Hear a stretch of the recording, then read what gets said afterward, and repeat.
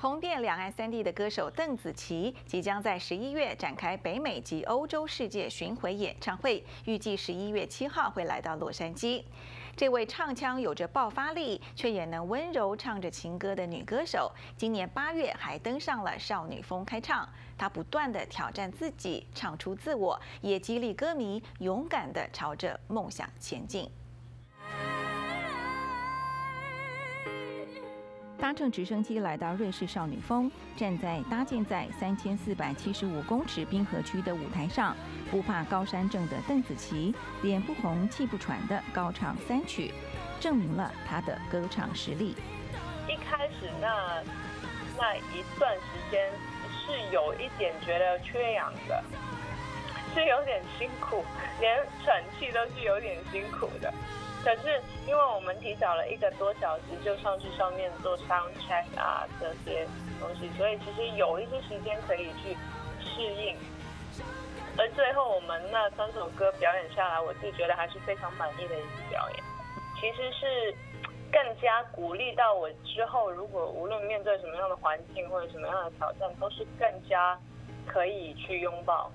邓紫棋除了在亚洲有超高人气，现在她也抢进好莱坞，在明年就要发行的动画片《Charming》当中现身。非常的荣幸能够就是在那么多其他的一些 great artists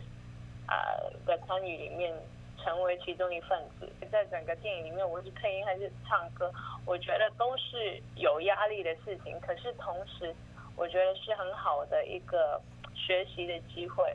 我也希望就是整个经历可以 inspire 更多的朋友，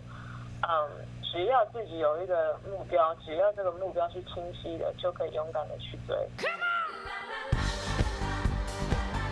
邓紫棋十一月就要展开北美及欧洲世界巡回演唱会，十一月七号会来到洛杉矶。邓紫棋要歌迷们做好准备，与她一起享受音乐。洛杉矶的歌迷可以先做好运动，先热身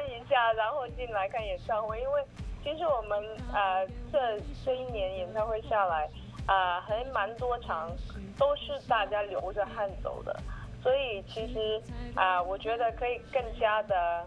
呃准备自己的体能吧，因为应该到时候会是很疯狂的一个晚上。邓紫棋还计划明年要登上太空，成为第一位在太空演唱的华裔歌手。她不断的超越自己，也让歌迷期待她的突破。